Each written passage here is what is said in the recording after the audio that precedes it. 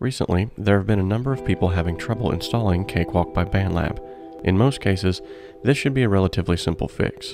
Today, I'm going to work out some of the reoccurring issues that have been coming up and hopefully get some of you on your way to using one of the best free DAWs on the market. If this is your first time to the Home Studio Simplified channel, I wholeheartedly welcome you and cordially invite you to go ahead and subscribe and click the bell icon so that every time I upload a new video, you'll be the first to know.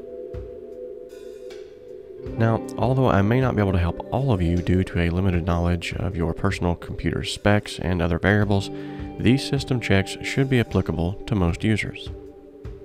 There are a couple of things to be aware of concerning Cakewalk by BandLab. Cakewalk is only 64-bit. There is no longer a 32-bit version. Likewise, there is not a Mac version of this software as of yet.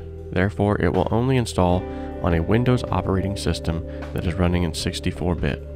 Cakewalk by BandLab is 100% free for 64-bit Windows operation systems 7, 8, and 10, but it is delivered exclusively via the BandLab Assistant.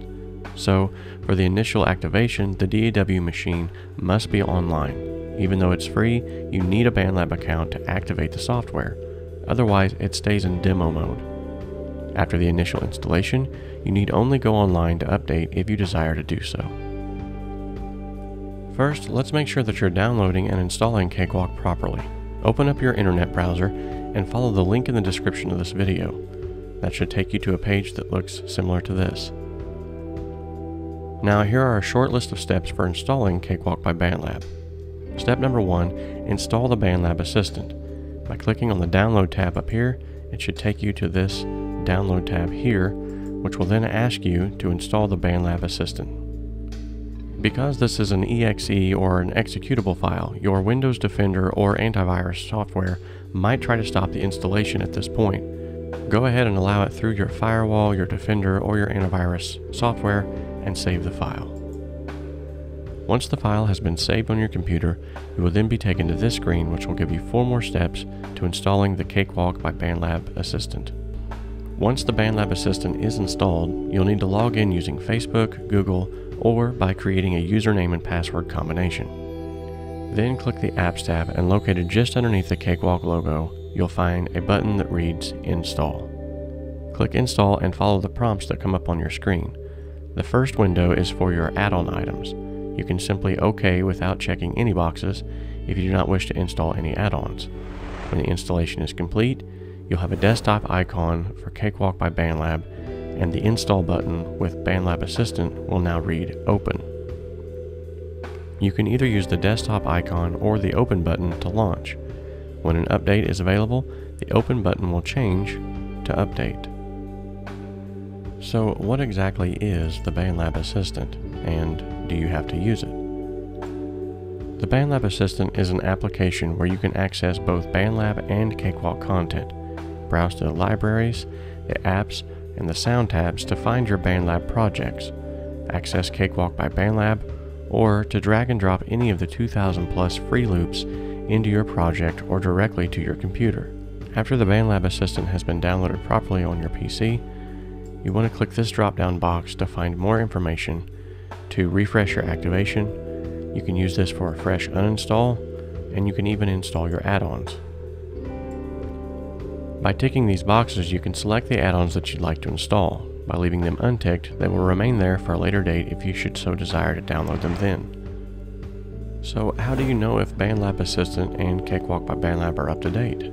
The BandLab Assistant sees less frequent changes than Cakewalk by BandLab, but there are still updates to the app in addition to Cakewalk by BandLab.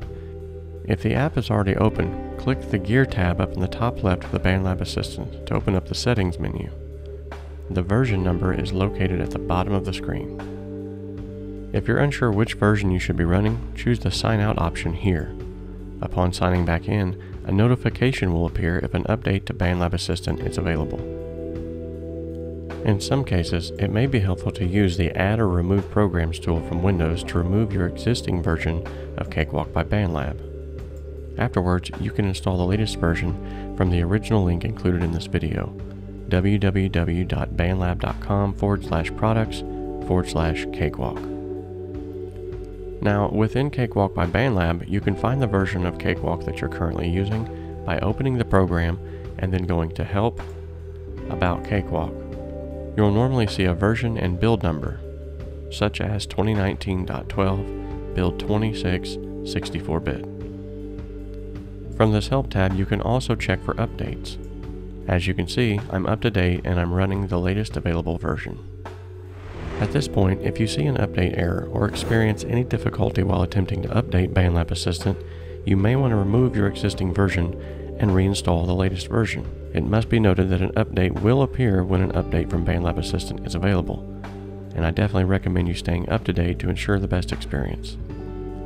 Here's a quick checklist of things that you need to do if you're experiencing troubles. Step number one, ensure that the BandLab Assistant is in fact up to date. Step number two, make sure that your firewall settings are allowing the BandLab Assistant access. Step number three, when installing, make sure to turn off any antivirus protection software. Once the installation is completed, you can simply turn it back on. Step number four is to run the downloaded executable files. You only need to run the instruments.exe if you don't already have Sonar installed. Otherwise, just run cakewalk.exe to install the core application. After having went through this short checklist to see if everything is in place, if you're still having any troubles, take a screenshot of any errors that you might have and reach out to the support at cakewalk.com. They should be able to further assist you in getting up and running. I hope this brief tutorial on how to get Cakewalk by BandLab up and running if you're having installing issues or updating issues helped. If it did, leave a comment in the comment section below and let me know. Give it a thumbs up as well, and make sure that before you leave this channel, you go ahead and subscribe and click that bell icon so that every time I upload a new video, you'll be the first to know. Have a great day.